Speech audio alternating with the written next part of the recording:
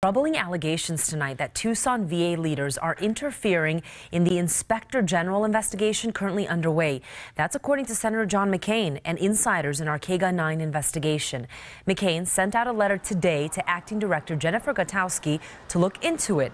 The concern is that VA employees have been reluctant to tell the complete truth with senior staff in on the Inspector General's questioning. McCain was the first to call for a federal probe based on our KGUN 9 that revealed allegations of long wait times, poor care, and whistleblower retaliation. Now, your side's Valerie Cavazos is looking into these latest allegations.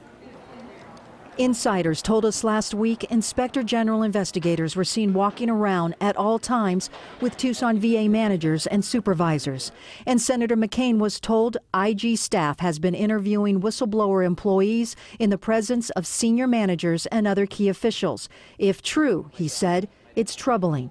Senator McCain recently delivered scathing remarks on how the VA has handled corrupt Phoenix VA executives. One of the most disgraceful aspects of the scandal at the VA is that only a small number of senior VA executives responsible for the wait time scandal were fired. McCain said the presence of senior managers in the interviews discourages candid testimony, resulting in unreliable record evidence that will erode confidence in the IG's final report. Weeks ago, former top administrator and whistleblower Pat McCoy raised the red flag, saying VA leadership is in the practice of coaching staff on what to say to federal investigators. Not so much in, I don't want you to say this, but to preface and tell staff how they should respond to certain questions.